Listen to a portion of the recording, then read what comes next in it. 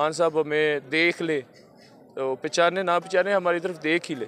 तो वो खान साहब पहचान भी रहे हैं, बुला भी रहे हैं, मेरी तारीफ़ भी कर रहे हैं।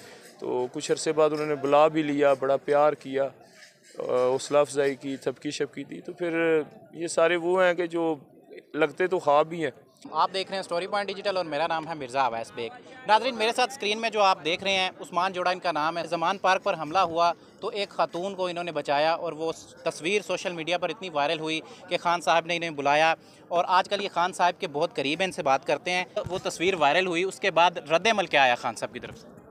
सर, जब ये वाक़ हुआ था, उसके बाद हमें कुछ देर बाद ही ये खान साहब की तरफ़ से ट्वीट हो गई थी पेज पे। खान साहब के जो ट्विटर पेज है, उस पर तो मुझे हमारे पास इतना नहीं टाइम होता कि मोबाइल वगैरह देखते रहें पोस्टें वगैरह। तो मुझे लोगों ने लिंक्स वगैरह भेजे कि भी इस तरह तेरी ये लगी है, तेरा नाम लिया खान साहब। तो एक आप जिस काम के लिए मेहनत कर रहे हो साल साल से, वो अगर आपको जिस तरह खान साहब है, हमारी कोशिश होती है खान साहब से मिल लें, खान साहब के इर्द गिर्द कहीं खड़े हो जाएँ, खान साहब हमें देख ले तो पहचाने ना पहचाने हमारी तरफ़ देख ही ले।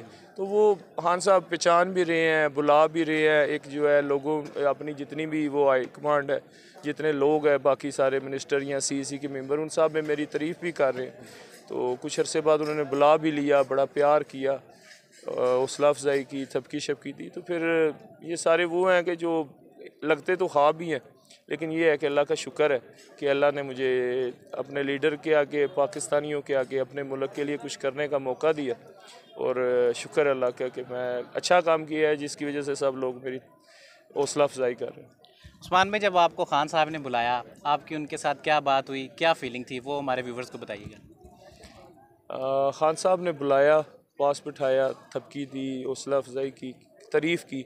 कि भी तुमने बड़ा अच्छा काम किया जिसकी वजह से पार्टी का इमेज बड़ा मज़बूत हुआ है। हम जो एक वो सारी एफर्ट कर रहे थे जो हम हम पे इल्ज़ाम लग रहे थे कि जी एक दहशत गर्द टोला है जो, जो पता नहीं क्या क्या इनके इरादे हैं। तो उस सब में जो मेरा एक एक्ट था उसको लेके उसकी वजह से काफ़ी सारी चीज़ें जो है वो बेहतर हो गई। वो जो इन लोगों के पता नहीं क्या इरादे थे लेकिन उस एक अमल की वजह से काफ़ी सारा जो है इंटरनेशनली चीज़ हाईलाइट होगी। काफ़ी सारी चीज़ें जो ख़तरनाक हद तक जा रही थी वो रुक गई। उस्मान भाई आप सोशल मीडिया पर बड़े वायरल हुए और लोगों की तरफ़ से क्या आपको रिस्पांस आया? आ, अगर मज़ाइया बात करें तो फिर ये है कि बहनों की तादाद बहुत बढ़ गई है। तो दूसरा ये है कि सबने बड़ी हौसला अफजाई।